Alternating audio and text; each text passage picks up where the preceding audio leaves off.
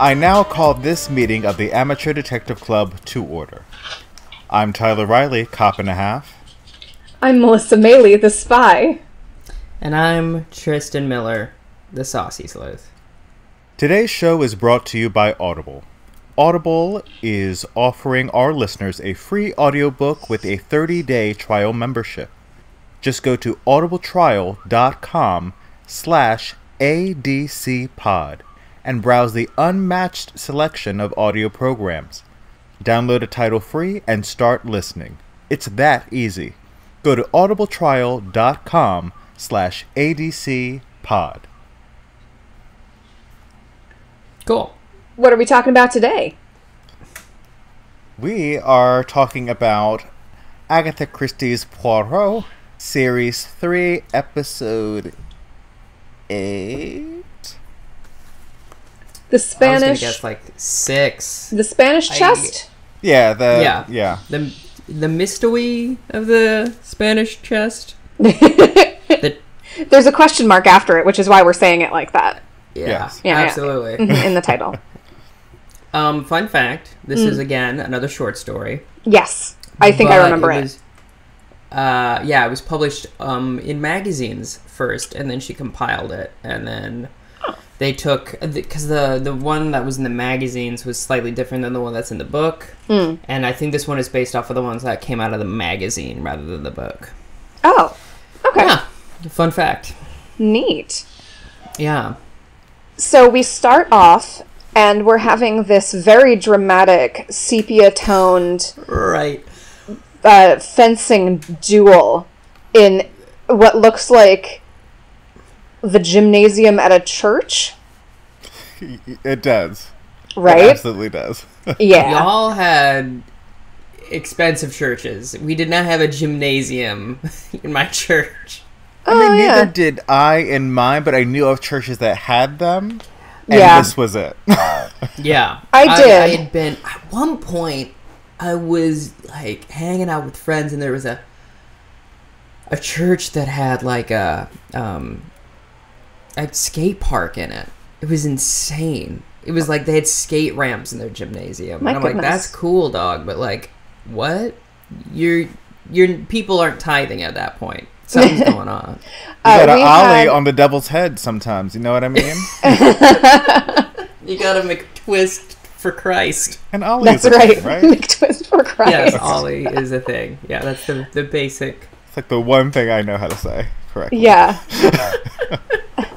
You got a you got a 360 nose bone for the Lord. You gotta just do it, kids. We had a basketball, a couple of basketball hoops in our in Mm-hmm. the gymnasium at our church, and they were like not at the opposite ends of the gym. They were both in a corner, and Okay. so they we always had like coffee and cookies and stuff afterwards, and everyone socialized and whatnot. Yeah. And uh, we uh, we played around. I like I remember like playing around and dancing on the uh, the basketball hoops, like the back of them, but never using them for basketball. You gotta dunk, dunk for Jesus. Or misuse basketball hoops for Jesus, I Yeah. guess. Yeah. um. So they're in this fencing match, and it's very dramatic. It feels like a d- dream sequence or something. There's a lot of slow mo. yeah, I thought it Very was. strange. I was like, did I click on the right show? What is happening? I thought it was odd. a movie that they were watching or something. Yeah, I thought it was like one of those situations as well, but it turns out I no. thought it was a memory, like off the mm. bat. Yeah, a dweem within a dweem. Th- yeah, that tracks. Um, but so then when they were at the opera watching Rigoletto, I was a little confused because I Yeah. expected them to be watching something, but it was not the same thing that I thought. Yeah. Right. but yeah, um, they are at the opera watching Rigoletto, and Oh, uh, Uh, can I can I touch on the fencing again, just real quick? oh quick? please, yes, Sure. Um, so it's these two people, like the scene is set up that like we Mm-hmm. see like the chalk outline of uh, I guess the playing area for fencing. I'm not sure the proper terminology uh, Um, for the poking region. yes, that's the right one. Yeah, Awesome. poking region. Hooking region. Poking. poking region. Poking region. Okay. Yes. Poking region is The stab zone.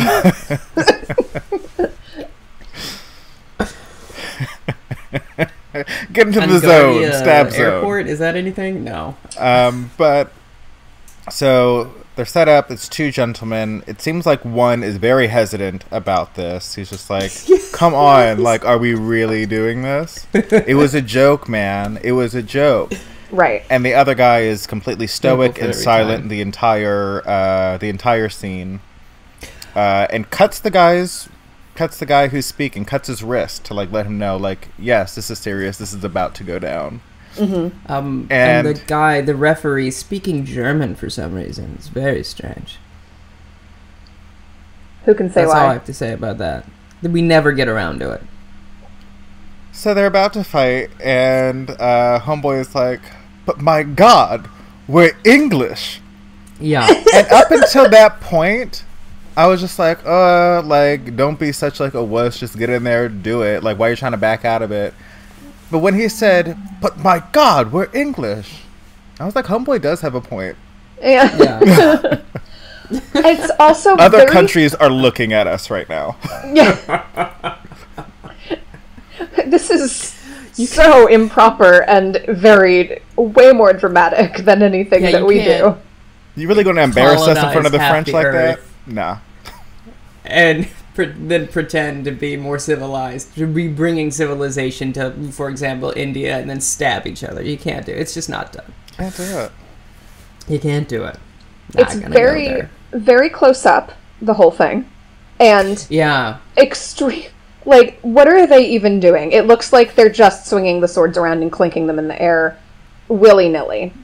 I'm sure that was to cover up the fact that the, they didn't know what they were doing, Probably. And which is, may I say, evident later on. uh, we'll talk about it. We'll talk about it. And Yeah. uh, they, yeah, the guy who was saying like, "Hey, what are we really doing?" ends up cutting the other guy's cheek. yeah, pretty badly. Yeah. Yeah, like really slicing it up. And then opera. Yeah. And Poirot and Hastings are looking very dapper in their tuxedos. Yes. Um, Yes, I would same say so. question as last time. They any good, What? Melissa? Or are the opera singers any good? Yeah, they were pretty good. Yeah, I Okay. like them this time. Yeah. I like them as well. I just wanted to get a a scholarly opinion about it. Yeah. Uh, so the there's a woman with her opera glasses who spies Poirot and Hastings, and then at intermission, Using her opera glasses. yeah, yeah. Um, then at intermission, she goes and finds them, and says, "Hey Poirot, remember me? You thought I was a suspect for this jewel robbery," and Poirot says, "Ah, yes, of course, I remember you, and you. It is so lovely to see you." And she says, "Gosh, you're just the best detective in the entire world." And he says, "I am," or something to that effect. He So says he, yes. he did just say yeah. She And- goes, you were brilliant. He goes, I was. and Hastings looks looks horrified. Uh, Got a whiter shade of white, yeah. Uh, if possible. but the lady points out a very pretty woman, young woman, at the opera and says, "Hey, you see her over there? Uh, I'm very worried that her husband is trying to kill her." And there, and Poirot says, "Is that gentleman her husband?" She says, "Oh no, no, no, no. He's just a friend. That's Major Rich." It's like, okie doke. Uh, What? I will come visit you tomorrow at 11 and we'll chat about it. Can I tell you? Major Rich is the most chaotic looking person we've seen. Like, none of his face makes sense. And he's got that mustache and that terrible haircut that is not doing him any favors. I didn't think don't it was know. terrible. It just seemed to me like it was not good. Uh, but I It also it looked doesn't befit the times. unmanageable. If that makes sense. I don't think it was a bad haircut. I think his hair, for him, just the texture by looking at it, Yeah. seems like he just doesn't know what to do with it. It seems like it was like a recessive gene in his family, and he is the one that like ha- now has to navigate this. Yeah. Sure, sure. Like he has really curly hair, like he's Welsh or something. And Uh, But he's oddly attractive, though. too many bones. I don't know. I don't know. I'm kind of I'm kind of with Melissa on this. Like he wouldn't be a first choice, but not a bad looking gentleman. No, he's got something about him too. There's like Yeah. a little. Um, I don't know. He just Maybe- seems a little. Yeah, maybe maybe, the it is the chaotic. Oh yeah, the major. Mm. this dude, we got different tastes. That's always fine. That's always apparent in these episodes. Yeah. Yeah. Lady's pretty cute, like a dollar value Yeah. Princess Di. Yeah, we get some Ooh. dollar value people up and through this Yeah. episode Yeah, because Clayton, who I believe we see next, um, looks like a shaven, y- young-ish Kevin Kline to me. yeah. If Okay. he, if he had fewer bones, yes. I don't know. I Fewer think the structural. bones. Go back and look at the structural integrity of this man's face. no, like I agree with you. Is the ba- basic like features, but like Kevin Kline got cheekbones, big chin, okay, whereas this guy mm, fewer cheekbones. Fewer, yeah, not okay. no cheekbones. Not, cheekbones not as pronounced. Yeah, if you took like Ian McDiarmid and Kevin Kline and fused them together, I don't know who it that first fly person style. is. Um, he was Emperor Palpatine in the Star Wars, and he's also in Macbeth with Judi Dench and Ian McKellen. Uh, Palpatine, like the old guy. Yeah, Yeah. yeah. Oh well, I never seen him without the makeup. Hopefully that's makeup. Yeah. Yeah. It is for uh, most of it. Yeah. You got him in a prequel normal for a little while, right? Yeah, yeah. In the prequels, he looks just like Ian McDiarmid looks for most of it. Anyhow, uh, what happens next? Oh, They- um, he- Mr. Clayton goes by a shop and he's like, "Oh, I wonder if you can help me. There's something I'm looking for, but I don't know how to describe." Oh, it's when he's buying the chest. oh, right. Uh, and then we see like uh, Mrs. Clayton at her home. Mm-hmm. And is yeah, she comes home, and this is when Mister Clayton r- arrives home and tells her that he's going away on business to Scotland. Yes. Before this, Clayton and another man, another mustachioed man, have a conversation. So many mustaches. Yes. Yeah, that's that's the conversation I was just talking about about the box. He's looking for something. That's not a shop. They're at a um. They're Hall. at the uh, the gentleman's club. And oh. he's like, "You're gonna go away on business. That's what you're gonna tell her, right?" And he's like, "Fine, I'll do it." And he's very huffy about it. I don't remember the chronology, but yes, both of those things happen. Yeah, I mean, at some point he does buy the box. He has to buy the box, otherwise the whole box, the the, the thing doesn't work. But yeah, that happens because it, I thought that was part of otherwise the he wouldn't be That's able my to tell bad. his wife that he's going to Scotland unless he decides to do it. Okay, I thought I thought that happened in the reveal. That's my bad. Oh, good. um, so he has that conversation with uh, a character whose name I can't recall. Is he a colonel? He's a corporal? Let's call him uh, Colonel Sanders. He's got the mustache for it. Sure. Okay. And Um, he- but and a big scar on his cheek.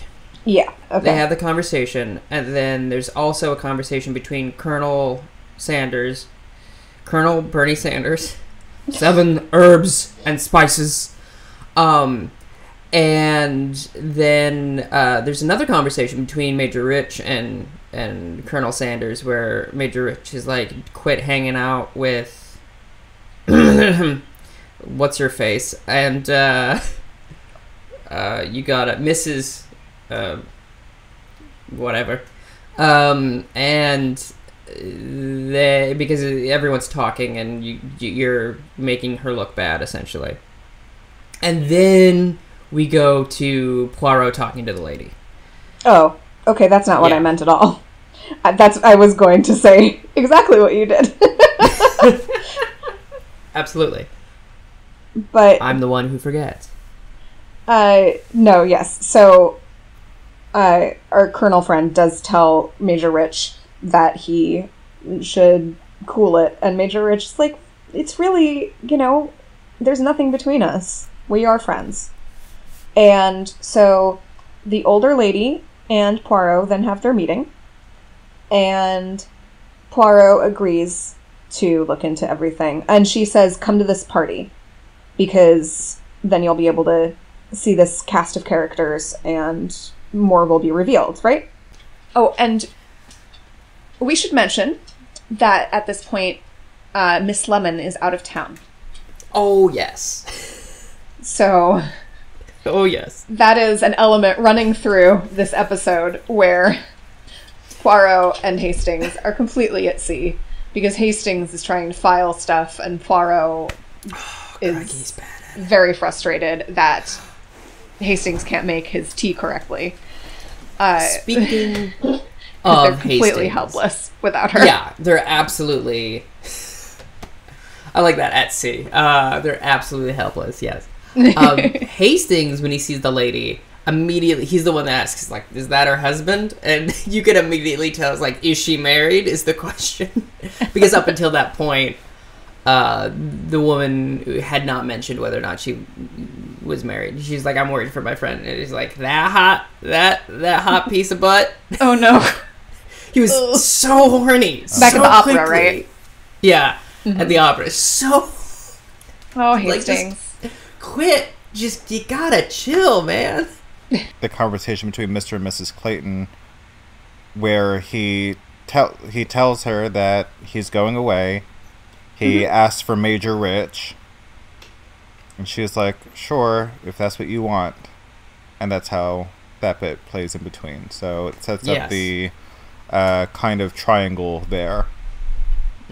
Oh right. Um, yeah, because we had forgotten. Forgotten? Yeah, we had forgotten to mention that uh, he was going to leave a note for Major Rich, right? Yes. Is that what it Yes, was? Yeah. note. Oh right, there's that whole scene where he goes to visit Major Rich, and Major Rich is not home, and the butler answers, and yeah, and then Major Rich comes comes back and is like, "Well, there's no note. I don't understand." He's like, "Well, he must have gone out, sir." I must not have heard him. He's like, okay, fine. Just have people wandering about my home. Yeah, that sounds right. Uh, there's a lot of conversations and so many mustaches. It's. They all look the same. Um, but yeah, so at any rate, uh, then we go to this party, and Poirot and Hastings are mingling about, and we see Mrs. Clayton Hastings is not there. and uh, Major Rich. Hmm? Hastings is not there? Hastings there? isn't there. It's just Poirot. Because Hastings didn't get an invite. Oh, okay. Yeah, I- it's just I- Poirot, which is why Poirot is so uncomfortable the whole time Oh, he's right. by himself, and everyone's like, "You should dance and have fun," and he's like, Mm-mm, "I don't do that." Strictly speaking, Oh my gosh, I forgot Hastings wasn't there because I'm so used to seeing them together. Yeah. But, but uh, yes, Poirot at one point dances with the older woman. so uncomfortable, and he hates the Charleston. He's and there's a brief conversation where we finally get some very overt racism. Um, Uh, oh yeah, because because he the Mr. Colonel Sanders um he's like I hate this kind of music because they put on like some new jazz kind of stuff yeah. and he's like it's uh, stupid music made by the inferior race essentially Oh, yeah. and, and Poirot's like that's not a very kind thing to say Right. So, yeah, immediately uh, getting out of Poirot's good graces or not Yeah. entering into them at all. Um, hmm and we see Mrs. Clayton with Major Rich again at the party. Uh, and mentions she mentions that her husband is away on business. hmm Um, and you know, everyone's milling about, having a pretty good time. And then um, there's also an interaction with uh, Colonel Sanders and Mrs. Clayton where he's like touching her face and they seem very close. Oh, Yeah. that's right. Like they clearly know each other. Mm-hmm. pretty well. because they've been friends for a long time. But we later find out. Yeah. And then the party ends, and we get a shot of this cabinet that Oh, it's so Is- good. dripping with blood, with, With what is clearly Kool Aid. Kool Aid. It- which is so the fakest blood I've ever seen, but it's so spooky. The shot, I loved it because it like crouches down low and like really gets into it, and it's just there's so much blood coming out of it. It's disgusting, and it was one of those things of like, this is like almost a family show, and then there were moments like this where like if I was an eight year old, I'd be like, mm, that's terrifying. And it is sinking, uh, seeping into the white carpet. I think it's Yeah. white carpet, Yeah. just for effect. Yeah, you really get the full impact of it there. Uh, and then the next morning, I guess, Japp shows up at the office with Poirot and Hastings, who can't figure out what they're doing. uh, and uh, Japp says, Well, all right, uh, Mr. Poirot, I've got to interview you as a witness. He's like, A witness to what, mon ami? Uh, and he, Japp is clearly concerned, but all about the murder, but also amused that he gets to come over and interview Poirot. Yeah, he's Yeah. quite he's quite smug. Uh, Um, so yeah, he makes it clear that a body has been discovered in this chest, and uh, Mr. Clayton's. it is Mr. Clayton and Mr. Rich, uh, Major Rich, sorry, has been arrested. Yeah, because he's the most obvious suspect. And it And just it's his seemed house. really odd to me, like how like broken up Japp seemed to be over the fact like that the body, like everyone was like partying around this body, because Mm. yeah, gross, but like also like nobody knew except for the killer. Yeah, yeah, no, no, no. Yeah. He did. He did seem like real disgusted about it, uh, and he makes that point very heavily to Poirot. And Poirot is kind of just like, oh, ew. yikes. yeah. I find everything disgusting. So what is new? oh, boy. Um, yeah. I like in your version, Poirot is clearly played by Jeff Goldblum. ooh, uh, uh, ooh, ooh. uh, I've got Goldblum on the Um, brain. yeah. Um, and from there, they start They go to their jail. invest. They go to jail. Yeah. Do you want to take it, Tyler? Sure. Uh, Poirot is seen investigating Mr. Rich, uh, asking him his uh, account of events uh, that day and that evening. He starts questioning him about uh, his wife and how long it's been since she's passed, uh, kind of alluding to that something improper is going on between Rich and uh, Mrs. Clayton. Uh, but he assures Poirot that they have only ever just been friends. Yeah. Um, and He doesn't From- seem too flustered about that either. no, uh, because earlier, uh, earlier on in the episode, we also have Colonel Sanders uh, going up to Major Rich and being like, "Hey, people are talking about y'all. You need to calm it down." So I think he's very much aware that you know there are rumors about town, so he's not surprised that, uh, Yeah. that this is being brought up. The next person Poirot interviews is Colonel Sanders. Yes. Right, he goes to the uh, fen- fencing club. Yeah. Which is In this uh, weird gym. aesthetically beautiful. But then they meet this weird sort of like l- attendant that leads them through and at one point he's like okay so the gymnasium's through there this is the like the golf course or whatever it's like you thinking about joining and both of them are like no not in the slightest i don't know where you got that idea and he goes all right and then he just moves through to the parlor room where Uh, Colonel Curtis. right because Oh. it reminded me of apocalypse now um Thank you, Tyler. Thank you. Um, the old CC. Uh, need a couple Clout CCs chaser? of mus- mustache stat. Always. Always. Um, and they interview him, and they find out that he's been a friend of Mrs. Clayton's for a very long time before she was married.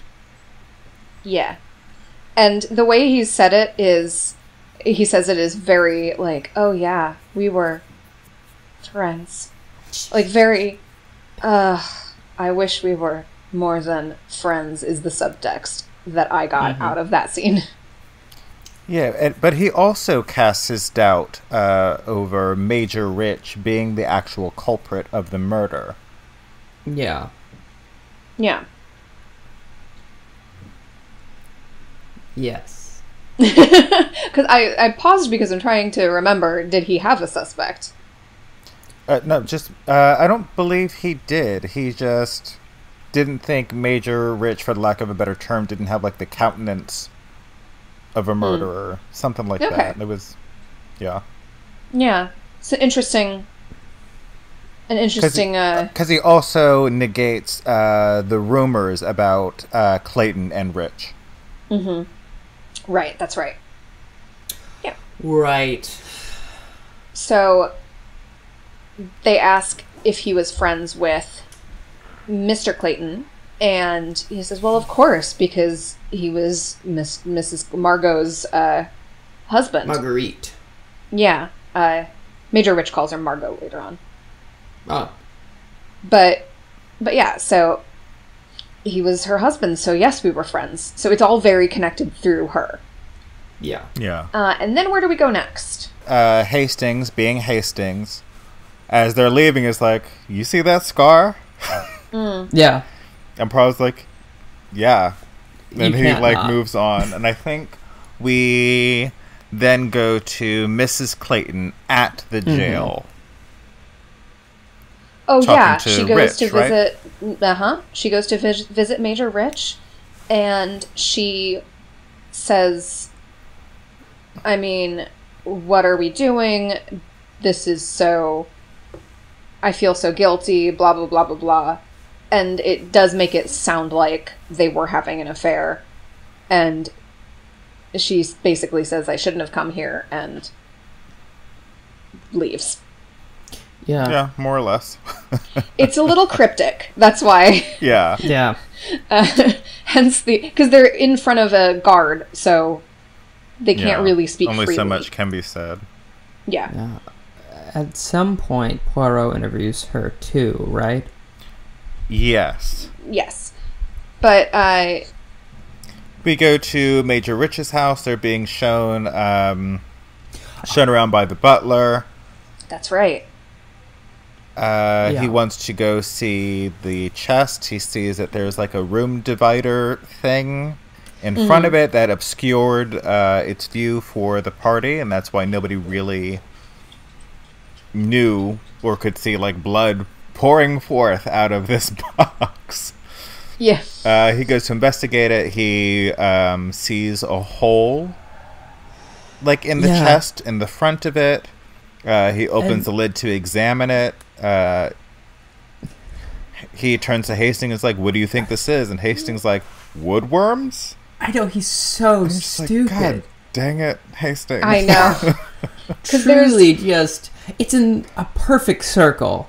Yeah. Yeah. And there's sawdust basically Uh, Yeah.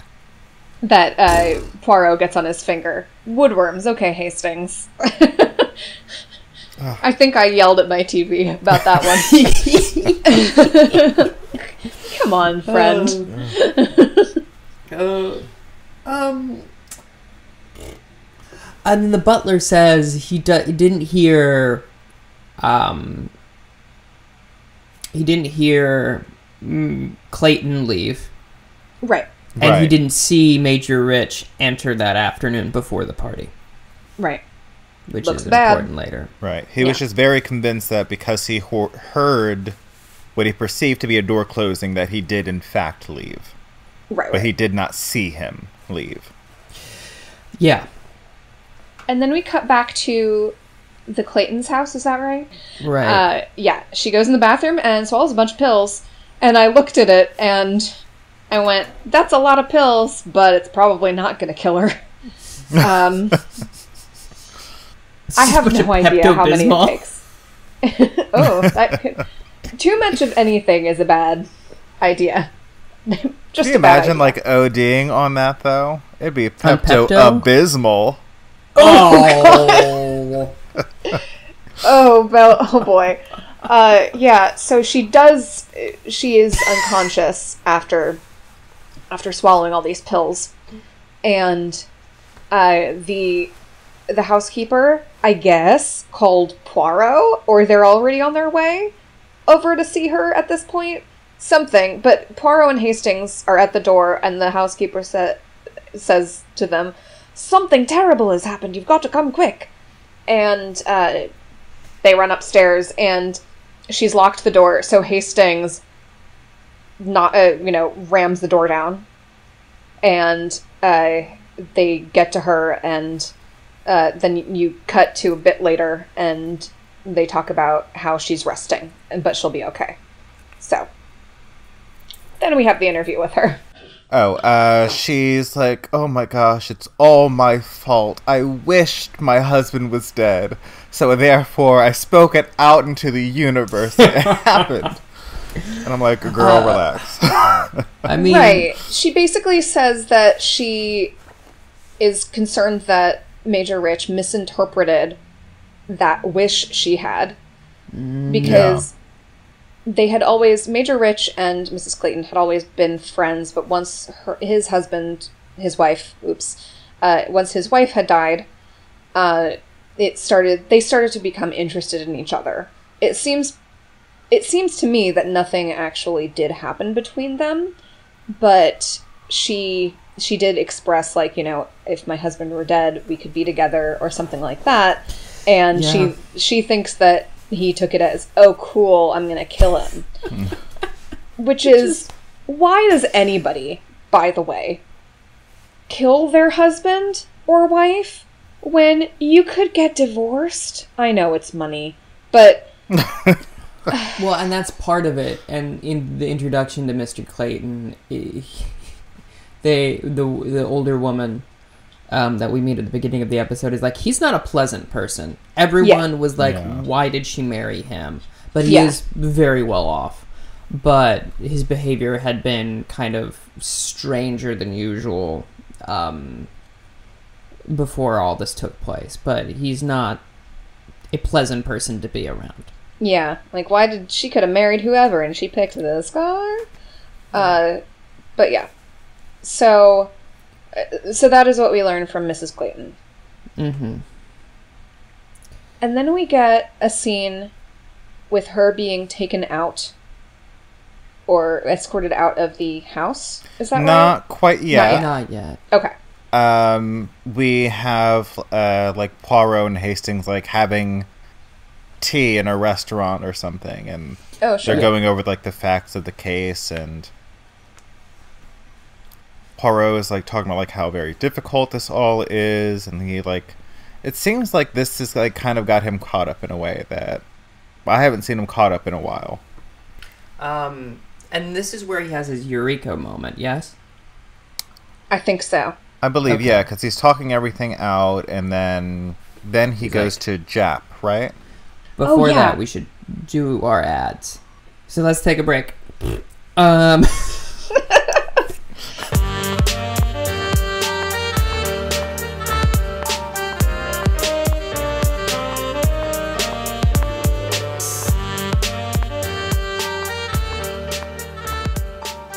Hey, cool cats and kitties. It's your friend it's Tristan the Saucy Sleuth coming at you live from my disappointment. Um, Live on tape. yep, live to tape. Uh, okay, so we got a Patreon, um, patreon.com slash adcpod. That's uh, all of our social media as well. Is all It's all the same, pretty convenient. Now, um, yes, for $1 a month, which is not even the price of a cup of coffee, um, just a candy bar. Don't buy Where that candy at Rite? Aid. Don't go out. Um, but Oh, don't no. buy that candy bar at Rite Aid, and um, instead give us a dollar uh, for bonus content such as our review of Murder She Wrote. We're going through Murder She Wrote, and we're doing reviewing episodes of that. It's been really really fun doing a different um, thing. Uh, and also, do be aware that in the bonus content, uh, we don't bleep anything out, and it's kind of like a ooh after hours sort of vibe. We also did a really fun, very thorough and lengthy uh, review of the mystery of who ran over Stone Cold Steve Austin, uh, which harrowing tale. Well, for, Um, in defense of the length of that episode, sir, it's like over two years worth of stuff. Oh, absolutely. I, I meant it as a compliment. It was Oh, okay. very thorough. It's just like an hour and a half. So if you got an hour and a half and you're curious about Stone Cold Stevie Osti, uh, head on over to Patreon, likes give us a buck. called. And um, Cold Stone Stevie Osti. Uh, now, there's also for three dollars. You get early access to all the episodes. So the Monday before these are released, you get uh, this episode eh, or whatever episode of Poirot we're doing. Um, so you got early access to that. You get bonus episodes as well. And there's a bunch of other tiers um, and stuff like that. So go check us out on patreon.com slash adcpod. I took the Patreon instead of Tyler. Yeah, you Yep. sure you sure did. You just I got too horny for it. you got so horny. For it. So what for am I it. doing got now? s- yeah. Do you want? What do you want to do then? I don't know. Uh, Okay, I'll just take it. For, I'm so glad we're all doing this together. yeah, that's why. Well, I mean, whatever. Um, so we're on Melissa- the Scavengers Network, and that's a really great network to be a part of. They have podcasts like Historical Hotties, among others. Check out the Scavengers Network at your convenience. They can be found online if you search the Scavengers Network. Scavengersnetwork.com. Pretty And we, they've also got spooky spouses. They have myth takes, and just oodles and oodles of great pods. And you've got time, so why don't you download a couple of them? Also, they have a couple other pieces of content. They have like a fair amount of videos, and they've been doing live streams um, pretty much every day. So they got plenty of stuff. If, entertained by Scavengers Network for the entirety of your quarantine, basically. yeah. Uh, so check them out. Check us out.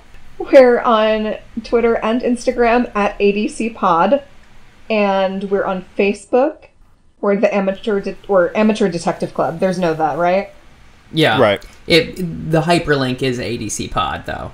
Oh, it is. Facebook.com slash ADC Pod. Everything slash ADC Pod at ADC Pod, and then go on over to audible.com slash ADC Pod. Conveniently enough, and Yeah. uh, yeah, download that free trial. There's so much things you can listen to. So much things.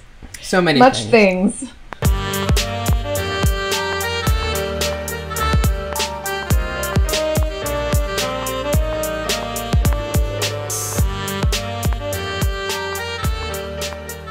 And we're back. Successful all around. No one commandeered other people's jobs. Fantastic. All, all Perfect right. ad break. Good teamwork. Uh, Exemplary. none of us had a mild case of the aneurysms. Ooh. Oh my. Tristan, I- the you way you're you get lit muscle is spasms? absolutely bonkers right now. Yeah, I'm on another plane of existence. Um, anyway, um, so Poirot has his eureka moment, and he goes to Japp, and he's like, "I need to know the contents of Mr. Clayton's pockets," and he sends Hastings to speak to the um, uh, the associate at the the gentleman's club, which now means something else in modern terms. I, but it is a gentleman's club. Yeah. Um, but uh, Poirot finds within the pockets of um, Mr. Clayton hmm um, a bunch of garbage, his wallet, a picture of his wife, and then uh, what appears to be a small whittling tool that would carve a hole in wood. Would Yes. it? Yeah. Son of a bird. Um, you're really pining after that, Ooh. for sure. Leaves me quite popular with the ladies. Please, no But you didn't sycamore know- these puns. Bet you didn't know you were gonna get all the tree puns, all the wood puns mm-hmm. in this episode. But here we are. Happy, yeah. Um, and then also Hastings talks to this guy and gives him ten bob for to tell him a story about these two gentlemen um, who had the duel, and it was over a joke um, at Mrs. Clayton's expense. Hastings Yes. deduces, and um, they put two and two together. Um, and then Poirot is like, I. there's this wonderful scene with Japp where he's like, he looks over at Poirot and he's like, "You're gonna ask me to do something, aren't you?" And he's like, "Yes." It's like I don't know why I even bother. I should just, just not quit my job, but I should just only call you. What are you gonna have me do? What ridiculous thing are you gonna ask me to do now, Poirot? Yeah, I And he's think he like, just "I like need straight you up ask. Yeah. Yeah. He's like, I need you to arrest Mrs. Clayton. And he's like, ah, all right. And then we smash cut to a scene of the press outside the Clayton's abode and her being taken away. Right. And um, the press is like, Poirot, what, what are you, what, what's, what, what's going on? Uh, and he's like, I have nothing to say. And then um, he's in bed and he gets a phone call late at night. oh my it's- gosh, it's so good. it's very funny because the voice on the other end, he's doing something with a cup, and he's like, "Yes, I I was born on the dock." Um, he's like, "I know who who killed uh, Mr. Clayton. Come to this address at this time." yes, and- and, it's uh, we get a you know silhouetted figure wearing a trench coat and a and a hat in uh, a in a phone booth, one of those Just big red type. phone booths. You A love it. flasher? You're a fan of a flasher? I, I'm a fan of a silhouetted figure in the dark. That's right. Come no closer to me, sir. Let my imagination gallop wildly, Exactly. thither and yon. um, And, and of go course, back to the gym now. exactly. Of course, the address is the gym, and it turns out da da da da. It's Colonel Curtis. It's Colonel Tony Curtis. So Colonel Curtis comes in and who starts it? Does Poirot start it or does Curtis start it? Curtis starts it Okay. with the accusation of like you besmirched Uh, yeah. the name of uh, th- Mrs. Clayton, and he's like, "Well, obviously you're in love with her," and he's like, "Dodoy," Yeah. and um, Poirot spills, essentially tells him the the uh, his whole reasoning behind it. He does like the parlor reveal to one person, which seems, in retrospect, quite strange. Um, it works. but it's a very yeah. murder she wrote kind of kind of uh, reveal. Yeah. Um, but essentially, he was in love with Mrs. Clayton, and every time someone would like besmirch her name in any way, he would come after them. Um, Yeah. Which is why he spoke to Major Rich, and he was the person in the duel, obviously, because that's how he got that big scar on his face. Yeah. Um, and because someone made a joke at her expense, and he got really, really hype about it. Yes. Um, fun fact: I read this in the trivia in the IMDb. Uh, David Suchet was legitimately uh, afeared in this scene that uh, he was going to get stabbed. Oh no. Yes, so the, um, the Colonel Curtis like threatens him with a an uh, a, a sword cane. He has a cane that turns into a sword. It's very cool. the best. Um, My uh, and my stage combat teacher in college had a sword cane. surprising no one in this conversation. Yeah. I wish I could have had that. You can buy it. Yeah. I mean, I could, but I shouldn't. Going Fair around stabbing. Um, but yeah, Suchet is y- y- genuinely afraid, and you can kind of see it. Yeah. And and he's like, "What are you gonna do?" Colonel Curtis is like, "What are you gonna do?" You oh, he calls him a little f- frog. oh And yeah. He's like, no, first, Clayton, I am not a annoying little frog. I am an annoying little Belgian. Number one. Number two, you did it, and we both know it. Um, right, very because the whole deal was he set up Clayton. He Mm-hmm. he said, you know, he's she's getting way too friendly with Major Rich, and you should go, you know, lie to her, tell her you're going out of town, and then spy on the two of them at this party. yeah. And you should do that by hiding in this chest, and you know, putting in a putting a hole in the side of it that you can look through and hear through, and breathe Yeah. through also. Uh, yes. and Now, I do have it a question. exactly this way. hmm I have you a have a question. question. Go for it.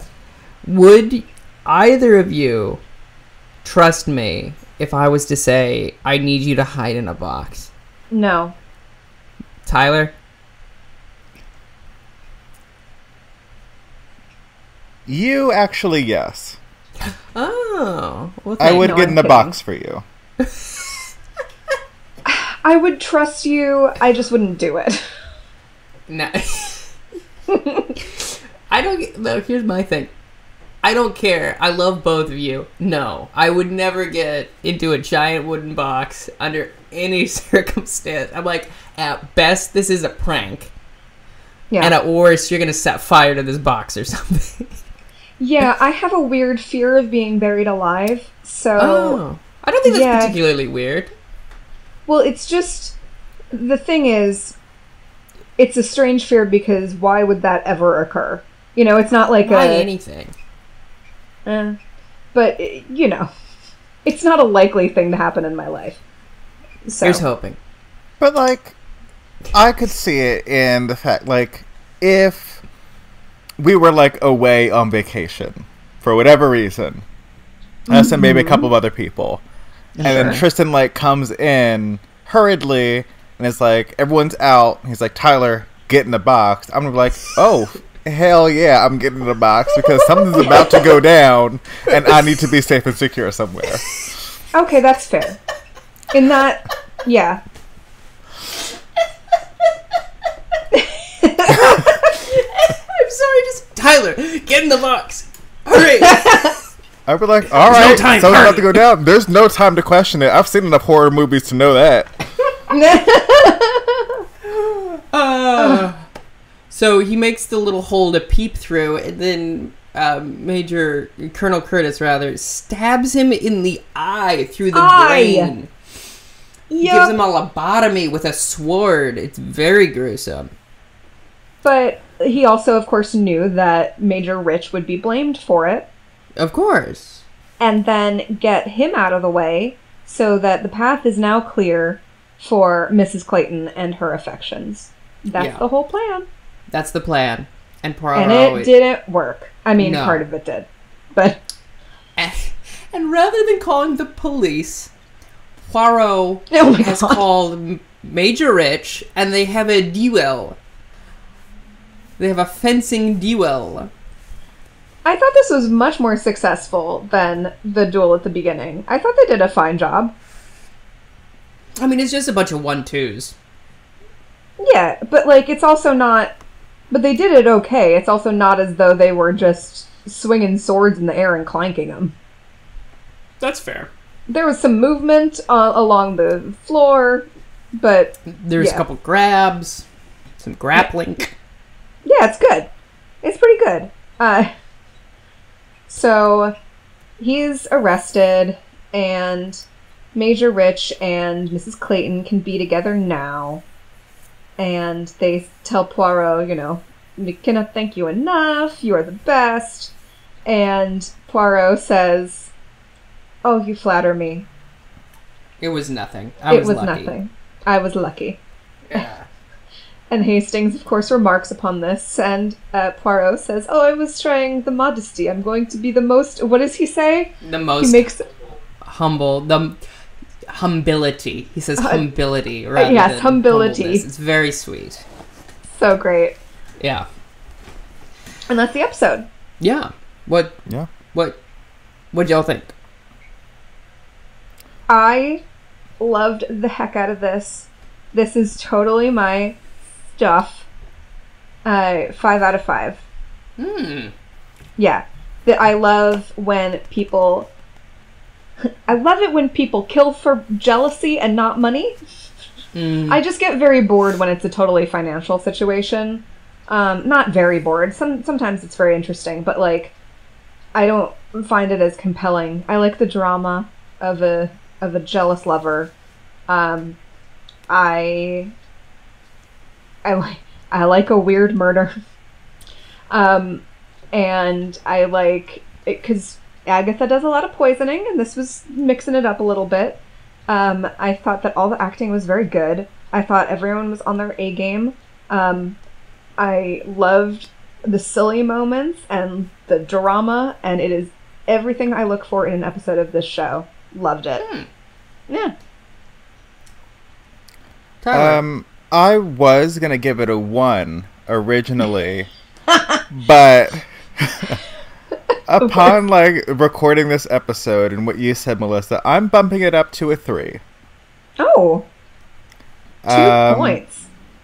for the reasons that you stated, uh, but I also had my fair share of issues with it. Okay. Um, the filming of it, I thought, was a bit confusing and a bit disjointed uh, at times.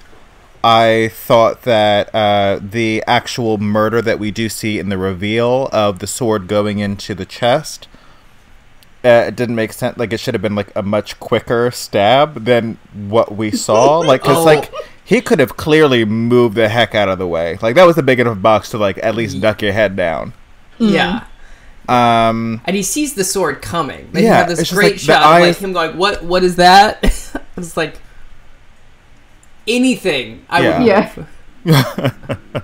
like you're not looking through a keyhole, dude. Like there's no Yeah. reason for something to be coming into the box right now. Nickel for every time I had to say that.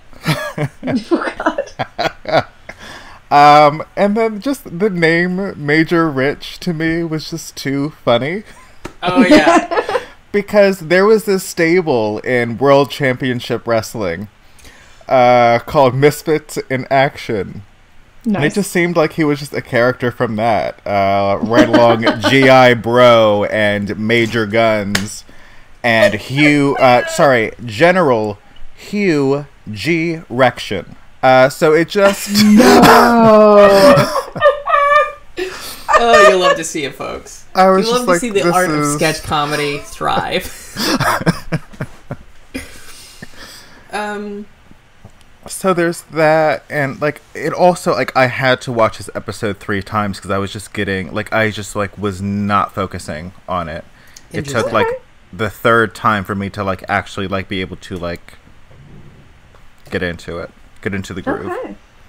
Um, yeah, I think I'd give it about a three and a half or four. I think three and a half. Um, I didn't have a hard time focusing on it. Um, but I also knew what was going to happen, and I I halfway through remembered that it was a short story. But it also seemed very obvious who the murderer was from the get go. Um, so there was that aspect, which is always I take points away. Like if I can figure it out in the first like ten minutes, I Yeah, and that doesn't bother me. I knew Yeah, it too. I know. Yeah. I like I like to stretch my brain a little bit if I can. Um, but um, I ooh, the supporting cast was not very strong in my opinion. Um, the core cast was great. I miss Mrs. Lemon. The comedy bits were always solid as they they've really gotten into a groove of what's funny about these characters. I really liked Poirot in this, and I really like Japp. I love that moment where there he's also at a typewriter, and he's like, "I don't know how to type. I'm a detective, not a secretary. Yes. Damn it, Jim! I'm a detective, not a secretary." Yeah, Um, it's good. Uh, and it's very funny, and I, I loved the core cast in this. Um, however, the supporting it, it was fine. Um, I did like how the murder was different. I thought it was really messed up. I thought it was very disgusting and very brutal. Um, and I understand your point, Tyler, of like it should have just been an in and out. I did like how it was sort of realistic of like he has to like force the sword through this man's skull. It's disgusting. It's absolutely horrific. Um, I thought the way this was shot was really cool, and there was a re- couple of really great edits actually. So because of that, I'm gonna give it a four. As like a piece of t- television, it was very strong. Story wise, yeah. All right. That's Sorry, there I- was one more thing that I forgot to mention, um, which also why I gave it a low rating initially, is because I could excuse racism. Oh, sure. Yeah. But this to me was just like the it really made me mad at Poirot in this episode, which I think is what kind of threw me. Is that like he does not come to defend anyone else when racist accusations are heard around. He in fact uh, takes part in that as well from time to time. But as soon as someone, you know, calls him French, and like we have like that scene at the party, and then we also have the uh, xenophobia hurled at him in the end scene, uh, because frog, I believe, was like kind of a derogatory term for French people at that Yeah. time. yes. Um, okay. so it's just like, okay, all of a sudden we're gonna act like all heroic and like, oh, xenophobia is wrong now. Okay. Sure. All right. I now uh, adjourn this meeting of the Amateur Detective Club. Gavel sound. Uh,